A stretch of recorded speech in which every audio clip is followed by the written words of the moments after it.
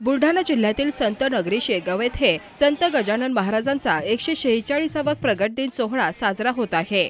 यावेळी गजानन महाराजांच्या दर्शनासाठी राज्यभरातून लाखो भाविक शेगाव येथे आले आहेत. सकाळपासून भक्तांच्या गजानन महाराजांच्या दर्शनासाठी रांगा लागल्या आहेत. दुपारी पालखी सोहळा निघणार असून यात सातशेच्या वर गावातून आलेल्या दिंडी सहभागी होणार आहेत. तर लाखो वारकऱ्यांसह पालखी ग्रामप्रदक्षिणा करून परत मंदिरात येते.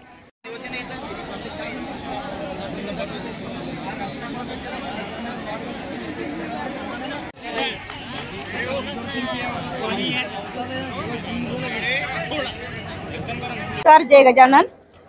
मी मिर्झापूर बाशीटाकळी येथून पायीवारीसाठी पायवारीसाठी आलेली आहे.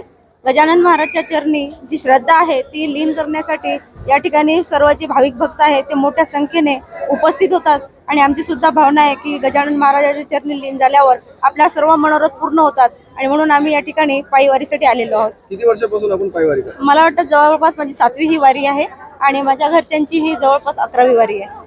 आमचे सर्व कुटुंबियासह आम्ही सगळेजण इथे आस्थेने येतो. नमस्कार. माझं नाव प्रफुल्ल ज्ञानेश्वर वाघमारे. प्रॉपर इथलाच आहे बट राहतो हैदराबादला.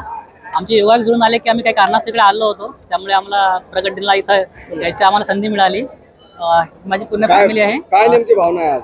अ, आज नेमकं म्हणजे सांगायचं झालं तर अ, हा काही फर्स्ट टाइम नाही आहे खरं तर आमच्या प्रगट दिनासाठी बट बऱ्याच वर्षी आम्ही इथं येऊन गेलो आहे. पण आज म्हणजे अ, खरं तर सांगायचं झालं तर बाकी ठिकाणी आम्ही बरेचसे देवस्थान फिरलो आहे. पण इथं आल्यानंतर जी मला प्रसन्नता मिळते ती कुठंच नाही आहे मी तर म्हणतो अख्ख्या जगात आम्ही कुठे गेलो तरी इथं आल्यानंतर जे आमच्या अ, आम्हाला जी प्रसन्नता मिळते ते कुठंच मिळू शकत नाही.